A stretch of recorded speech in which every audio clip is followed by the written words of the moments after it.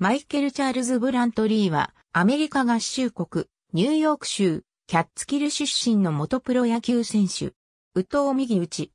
コースタルカロライナコミュニティ大から1982年7月、シンシナティレッツ8巡目指名拒否。1983年7月、シアトルマリナーズ2巡目入団。1990年7月ミルウォーキーブルワーズ移籍。1993年読売ジャイアンツ入団、同年退団。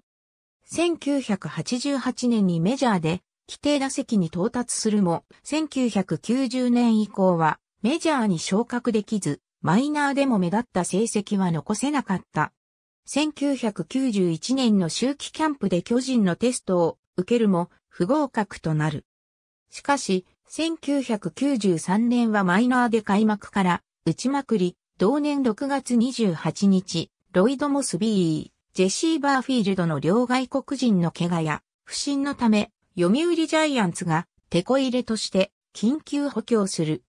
しかし、モスビーやバーフィールド以上に不審で結局バーフィールド復帰と同時に2軍に降格した。同年オフにモスビー、バーフィールドと揃って解雇された。ヒューストンアストロズのマイケル・ブラントリーは息子。ありがとうございます。